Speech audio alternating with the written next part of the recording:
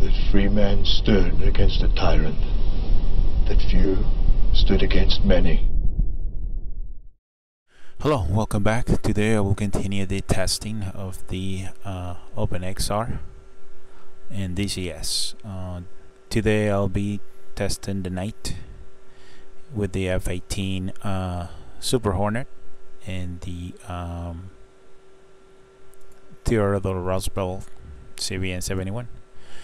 So I have this mixed reality portal. Uh, there was a couple updates. This I just updated today. It's up to date uh, then I got the uh, OpenXR toolkit and see version 1.2.0 is active close that and I got the uh, OpenXR tool uh, the same 100% and there was an update on this too so this was updated as well.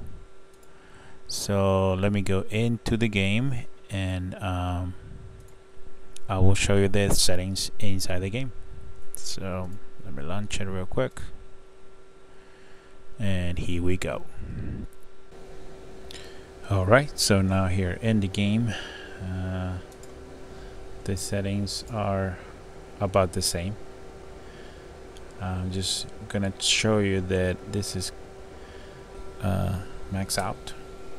I even got the um, visibility range to extreme. And for some reason the frames per second stay the same. So the only big change that I see is the weather. When you change the weather or you turn it off you get a couple frames per second extra but everything else uh, does not affect. So you can see just remember everything is high and then I will switch it down and I will show you the frames per second at about the same. Here in the VR tab uh, pixel still at one and everything else still the same. So uh, let me show you how it behaves in the game alright so this is the night. I have the settings of this night into a clear night. You see the moon all the way up there. So the camera can capture it really well but it looks very clear with your eyes with my own eyes. So um, I just wanted to show you this screen before I start uh, for the setting of the night. And here's how it looks with the lights on as soon as the carrier comes with the lights on. So so far the first impression uh, is not good not good for the night. Um, a lot of wobbling uh, very low frames per second. You can see it's 15 only goes up to 17 maybe 20 sometimes. But as of right now is uh, is pretty low here on the outside you can see um, the red lights on the vertical stabilizer with the left one. Everything else when you pan looks okay when you pan around but uh, let me go back to the jet. Look at the red. It disturbs the frame of the jet of the tail every time it blinks it, it is okay, I mean it's acceptable, but if you move around, uh, the frames per second are very low. I don't know if it's because I have this uh, super bug on. Um, I will do some tests going back to the F-18C, but um, um, we'll see. Now let's check this uh, settings. So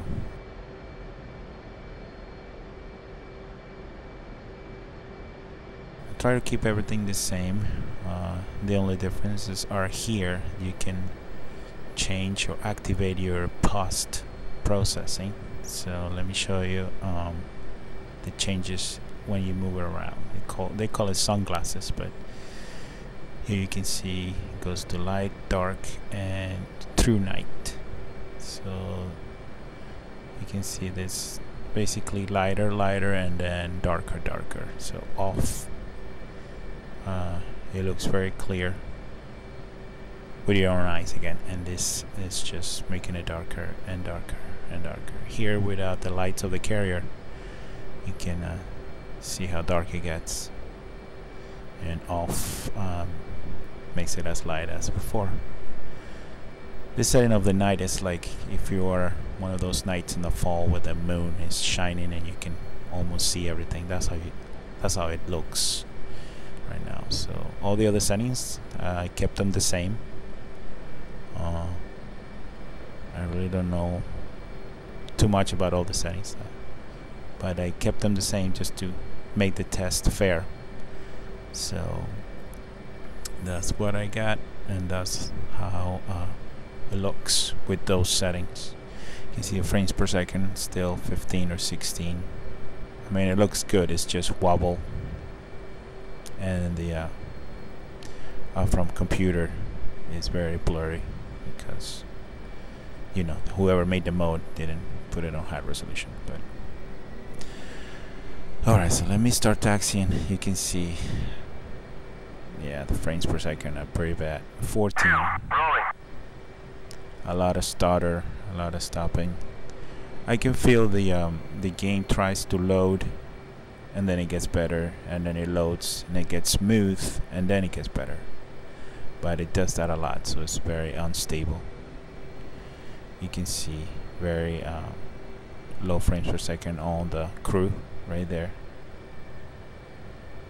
Wobble on the jet wobble on the wings wobble everywhere so.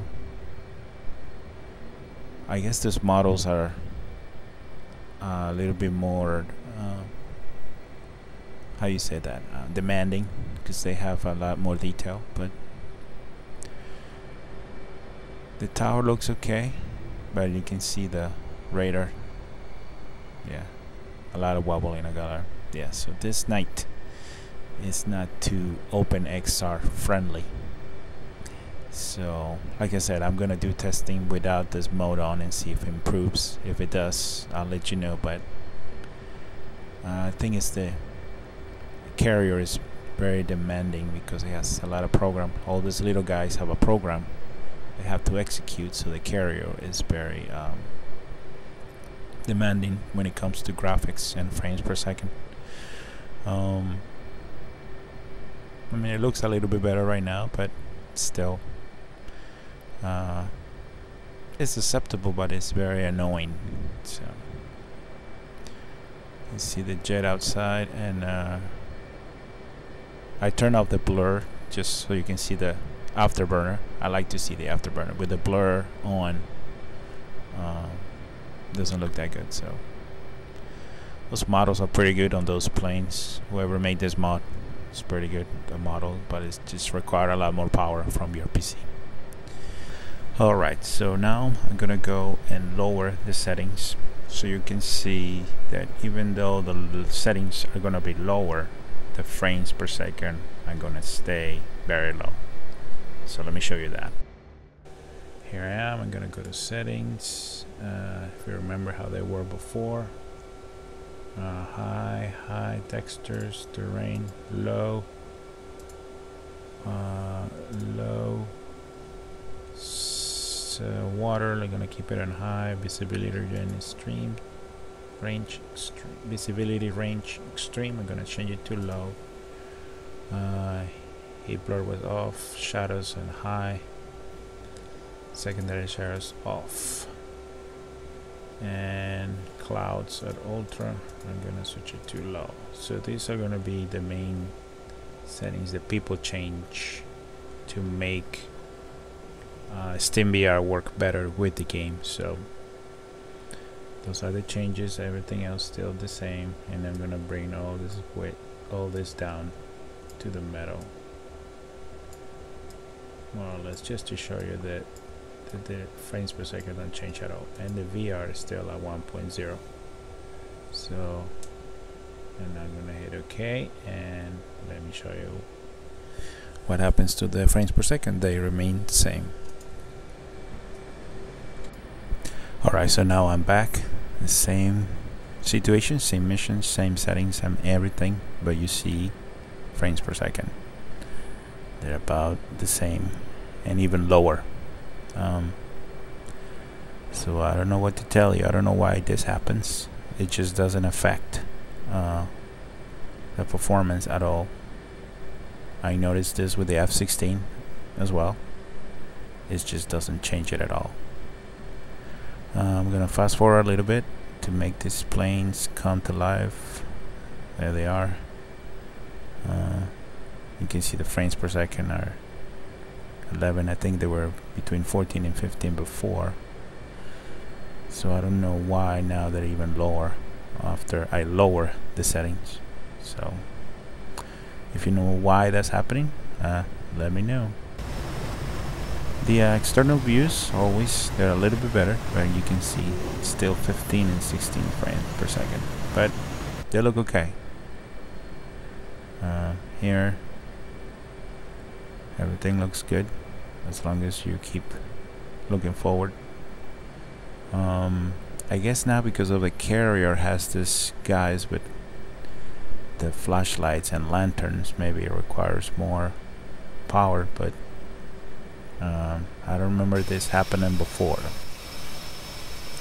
And the external views are always better just because it doesn't have to model the uh, the entire cockpit and all the buttons and lights. But still uh, there's a lot of wobbling and stutter every time the crew moves on deck. You see there when I zoomed in it wobbled. And the shadows are very pixelated see the shadow on the wing. And the movements are smooth but let me see um, when he walks away. And you can see the frames per second um, dropping. And in the shadows these guys are floating in the air. I don't know why I just don't remember this without the mod but uh, I'll check that out later. Alright so let's get this guy in the air and I'm sure in the air the frames per second are gonna go better because they don't have to. The whole carrier has to it doesn't have to be model so yeah. That's pretty good. We're already at 21 yep improving already. And uh, the wings.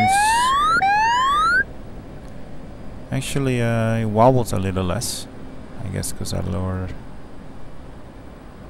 the settings.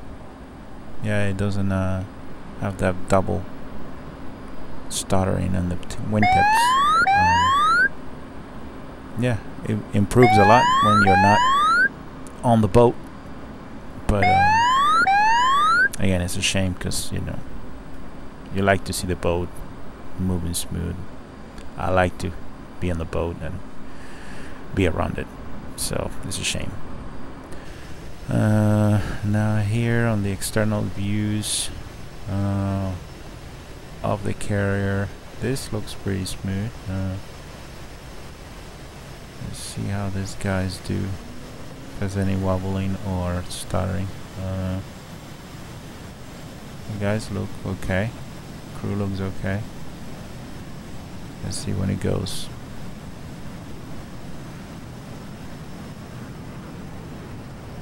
Yeah, the tail. The jet wobbles a lot and started, but uh, panning around here, it looks okay. Yeah, a little bit of stutter here and there, but not too bad. But again, we're supposed to be inside the jet, flying and not be looking around here where we're not supposed to be. So, let's see how this goes it looks pretty smooth uh, the light on the tail on the vertical stabilizer now it doesn't disturb the frame of the jet so. and of course here all the way up 27 30 frames per second so everything's good up here lights on the jet looks good the red light blinking doesn't affect the frame of the jet so yeah everything in air is good so I think that's it for this video. The next test will be uh, night ops recovering aircraft. So let me know if you know anything about this and how to improve the OpenXR. I hope this helps and fly safe.